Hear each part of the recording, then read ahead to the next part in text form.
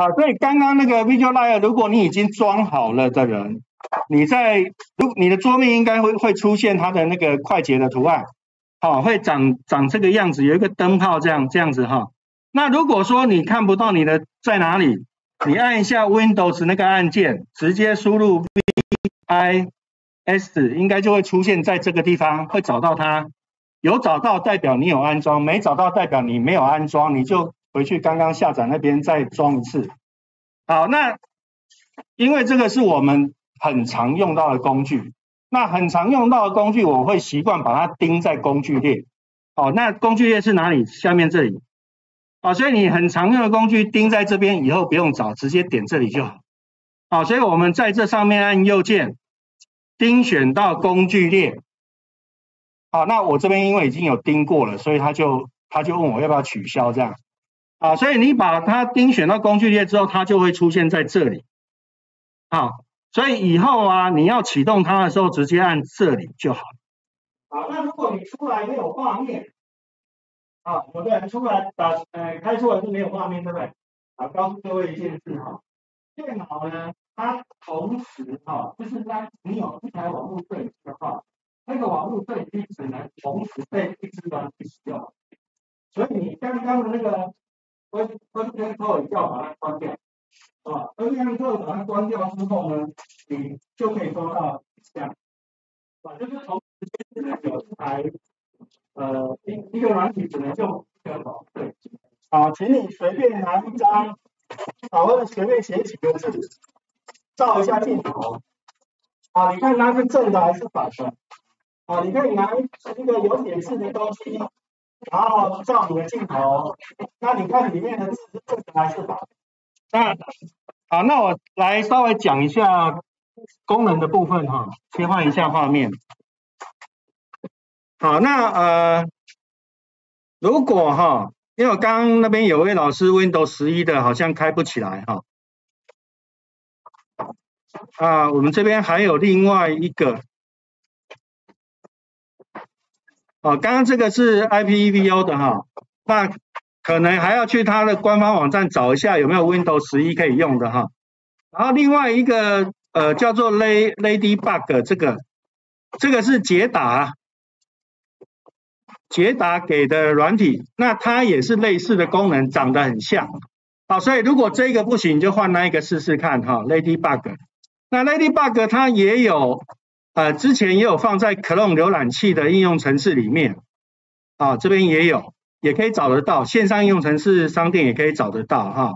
那所以不一定会在那边。然后那个啊，对，刚刚那个 Windows 十一不能用的老师，Chrome 浏览器里面它有一个叫应用程式商店，这边你也可以去找啊，这个线上应用程式商店，你用 Chrome 的方式，用浏览器的方式进去。然后这边也可以搜寻到 IPEVO 啊，所以如果你的安装版不能用，有可能你克隆的这个是可以用的。那装好之后是会在克隆的浏览器里面就会有这些这个东西啊，所以它是克隆也可以用，克隆不可以可以用啊。那克隆浏览器本身也可以用。好，那我先回头来讲这边。好，那如果你有两个镜头呢，在这个功能表这边啊，这里有选择相机。啊，所以你就在这边直接做切换，啊，这个 internal 就是内建的笔电内建的那那个镜头，然后呃 OBS 是如果你有安装 OBS 就是那个录影软体，这是录影软体出来的那个镜头呃画面，然后这 V4K 就是呃我们刚刚另外装的这个啊这个，那你们的那个叫做 A4 什么的哈，刚借的那个是 A4 什么的镜头，所以你可以在这边选。那如果如果呃你只有开一个网络摄影机，然后你其他的镜头呢怎么选都打不开啊，会有这种状况哦。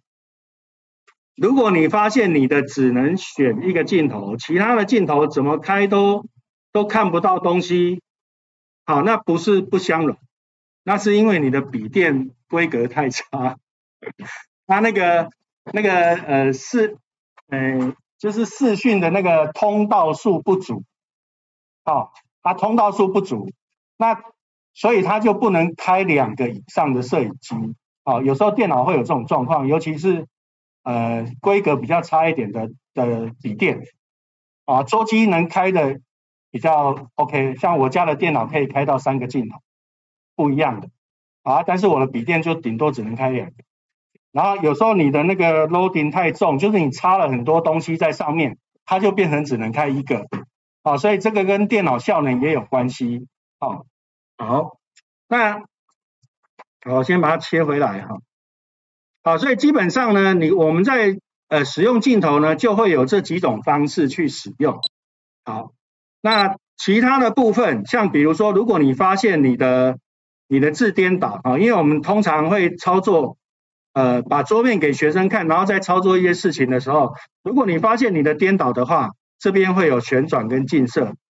好，所以我现在。现在这个是正的，啊，这个是正的哈啊。如果你发现你的是正，你的是反的，那你就要用这个旋转跟近色把它翻转，啊，近色翻转，它就会变左右颠倒，啊，这样给学生看到就会是正的，啊。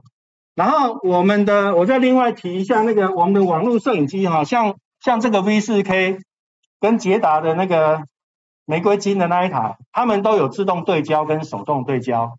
所以原则上，你东西放多近，它自己会重新去对焦。但是你这个后面有一个开关，你要切在切在连续自动对焦。啊，它如果你呃不开连续自动对焦，它就只会开始的时候抓一次，然后就固定焦距。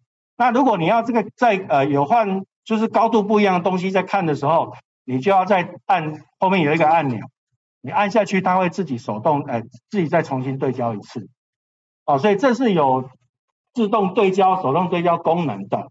那你们手上那个网络摄影机哈，或者一般的网络摄影机，它的焦距都是死的，它顶多有手动对焦哈，它所用对焦在哪里哈？它的那个镜头外面这一圈，通常是可以转，外面这一圈是可以转的哦。所以你如果你发现你的摄影机奇怪，怎么照都照不清楚，都是朦胧美，请你把它转一下，找到最清楚的位置。啊，它的焦距是在这里调的哈。啊，所以这个镜头也是一样，但是它很不好转哈，所以你要用点力哈。它是可以转的。啊，所以这是这种便宜的网络摄影机，它是这样对焦距的，手动，全手动哈。好，那所以。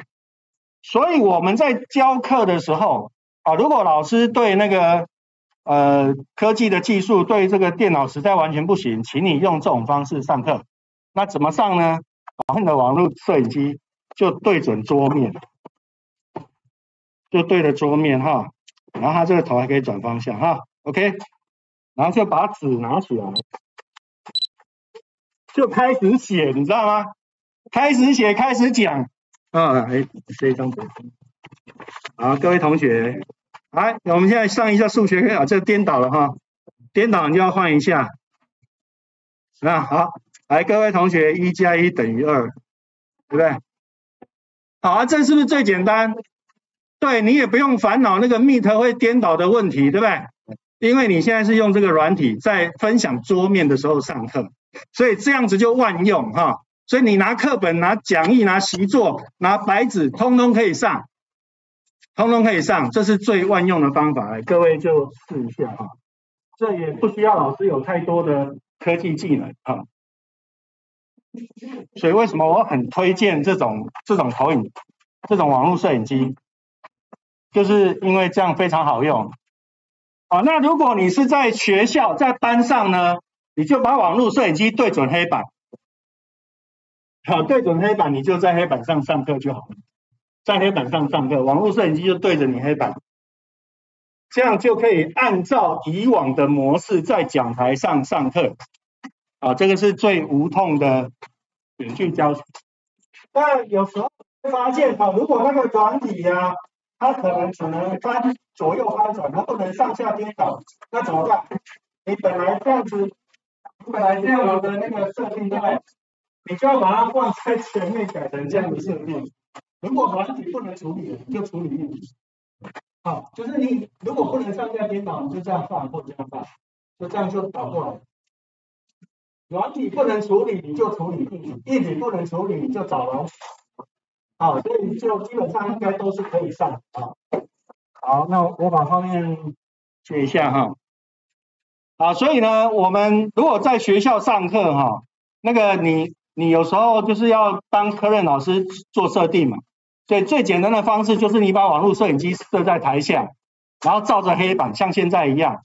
那我就在这里，那个科任老师来就在这里直接上，这样 OK 吗？啊，你就不会有任何的其他的衍生的问题啊，也不会说要那个什么乡土语言老师啊，还要来学这些东西，你就帮他处理好。声音在 Meet 里面，哎，声音在 Meet 里面处理。好，所以这个是镜头影像设定的部分哈。好，